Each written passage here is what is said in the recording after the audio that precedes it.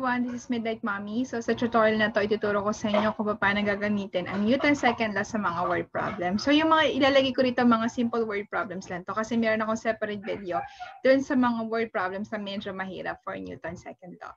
So 10 kilogram bowling ball would require what force to accelerate down an alleyway at a rate of 3 meters per second squared. Okay, so identify muna natin yung given. So meron tayo ditong mass na 10 kilograms And then meron tayong um, acceleration na 3 meters per second squared.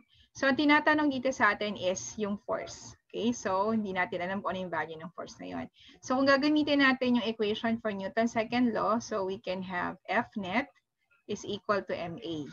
Yan. So yung mass natin na 10 kilograms, isa-substitute lang natin dito. Tsaka yung acceleration na 3 meters per second squared. Yan. So yung ating force therefore dito is, um, this one is equal to 30. So yung kilogram, pag multiply nyo to sa meter per second squared, ang magiging unit nito is actually Newton. Yan. So yung Newton, ang tawag natin dyan derived unit. Okay, kasi it's a combination of different units not coming from a formula. Now, next example. What is the mass of a falling rock if it produces a force of 147 newtons? Okay, so given tayo dyan ng force na 147 newtons. Now remember na dun sa problem, ang pinapahanap sa atin is the mass.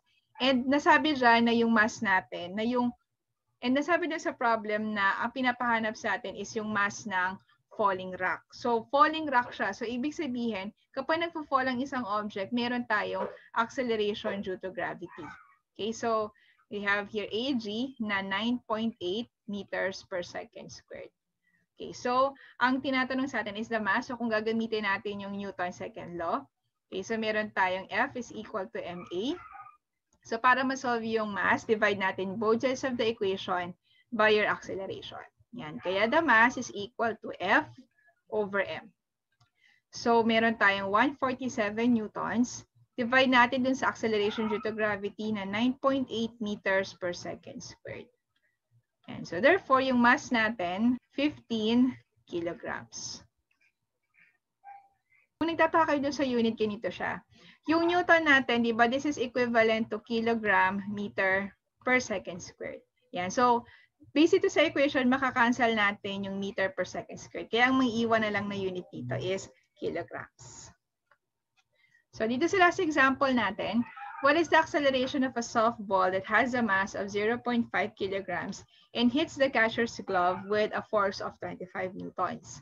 Okay, so given tayo sa problem ng mass na 0.5 kilograms, and then meron tayong force na 25 newtons. So, hinahanap natin dito is the acceleration. So, again, kung gagamitin natin yung F is equal to MA, so para ma-solve natin acceleration, divide both sides of the equation by M. Yan. Kaya the acceleration is F over M. So, pag sinubstitute natin to, meron tayong 25 newtons divided by 0.5 kilograms. So, yung answer dito is 50 meters per second squared. So again, kung nagtataka kayo kung paano naging meters per second squared yung unit, so remember ang Newton is kilogram meter per second squared. So makakancel dito yung kilogram, kaya may iwan ka ng unit na meter per second squared. Yan. So sana po nakaturo na malaki ito sa inyo. So doon sa mga medyo mas mahihirap na problems, so magkakaroon ako ng separate video for that. So abangan po ninyo yung mga i-release ko na video para sa Newton second law.